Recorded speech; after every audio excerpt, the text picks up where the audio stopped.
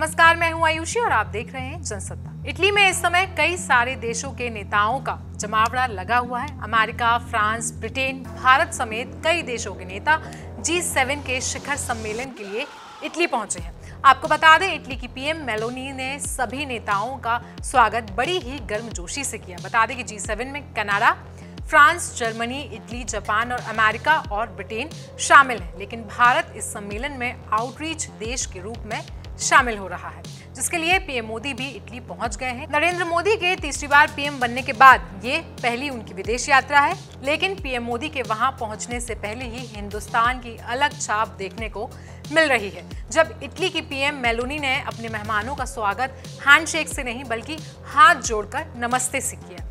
खैर, इस सबके बीच ये देखना बहुत ज़रूरी हो जाता है कि जी सेवन के शिखर सम्मेलन में भारत अपनी ओर से किन मुद्दों को इस मंच पर उठाता है, जिसके लिए पीएम मोदी ने इटली रवाना होने से पहले ही कहा था कि बैठक में आर्टिफिशियल इंटेलिजेंस ऊर्जा, अफ्रीका और भू मध्य सागर पर उनका फोकस रहेगा। इसके साथ ही कयास लगाए जा रहे हैं कि पीएम मोदी इटली पहुँचे, नेताओं के साथ द्विपक्षीय बातचीत भी कर सकते हैं। आपको बता दें कि इटली में जी सेवन का आयोजन ऐसे वक्त में हो रहा है जब दुनिया में दो दो बड़े युद्ध चल रहे यही नहीं, अमेरिका और पश्चिमी देशों के साथ चीन की प्रतिस्पर्धा भी तीखी हो रही है। इस तरह इस सम्मेलन के दौरान कई वैश्विक मुद्दों पर चर्चा होने की संभावना है, जिनमें रूस, चीन, यूक्रेन इसराइल और अफ्रीका जैसे देशों से जुड़े मुद्दे शामिल हैं। लेकिन बड़ी बात यह है कि जो नेता इतने गंभीर संकट के दौरान इटली में इकट्ठा हुए हैं, उनकी साख और ताकत घर और बाहर दोनों जगह सवालों में है। यूरोपीय यूनियन के चुनावों में हार से तमतमाए इमानुअल मैक्रोन ने फ्रांस में मध्य अवधि चुनाव का ऐलान किया है, जिसमें उनकी पार्टी की हालत अच्छी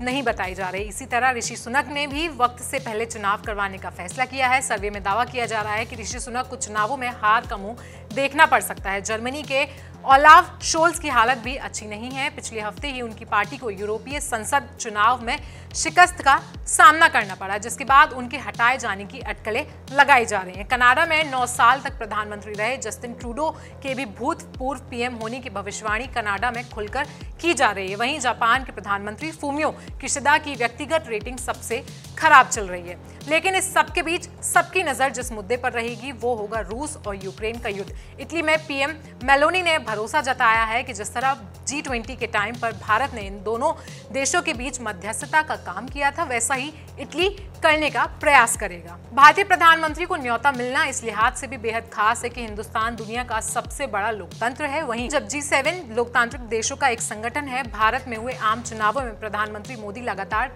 तीसरी बार जीते हैं। वहीं इसी बैठक से पहले इटली की प्रधानमंत्री मेलोनी की पार्टी ब्रदर्स ऑफ़ इटली को यूरोपियन यूनियन के चुनावों में बम्पर जीत मिली है।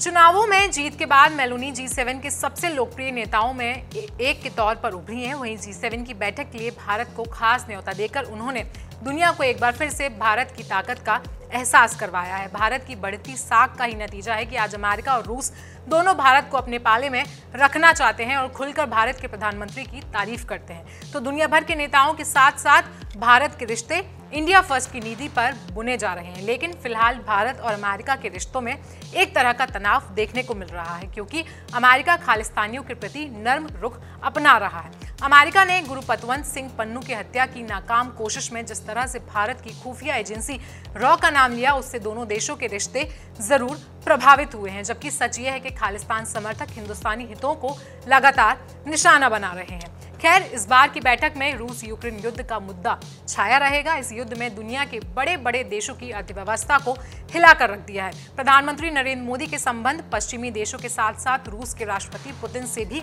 अच्छे हैं। लिहाजा पश्चिमी देशों और खासकर इटली के लिए भारत की भूमिका अहम है ताकि जी सेवन की इस बैठक में ऐसा कुछ समाधान निकला जा सके जिससे आयोजन सफल बन सके। और अगर ऐसा होता है तो पूरे यूरोप में मेलोनी का कद और बढ़ना तय है। आपको बता दें, फ़िलहाल जी सेवन की अध्यक्षता इटली संभाल रहा है। इससे पहले जापान ने हिरोशिमा में इसकी मेजबानी की थी और तब भी पीएम मोदी को इस सम्मेलन के लिए बुलाया गया था। जी सेवन के इस पूरे मुद्दे पर क्या है आपकी राय? हमें कमेंट सेक्शन में ज़रूर बताएँ। साथ ही साथ देश और दुनिया की बाकी खबरों के लिए देखते रहें जनसत्ता धन्यवाद।